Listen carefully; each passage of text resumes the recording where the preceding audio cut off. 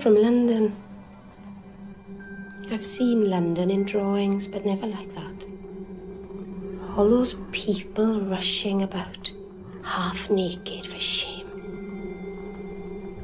And the noise. And the metal boxes racing past.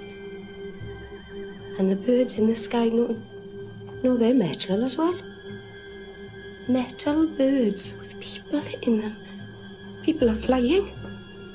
And you, you've flown so far further than anyone. The things you've seen. The darkness. The big bad wolf.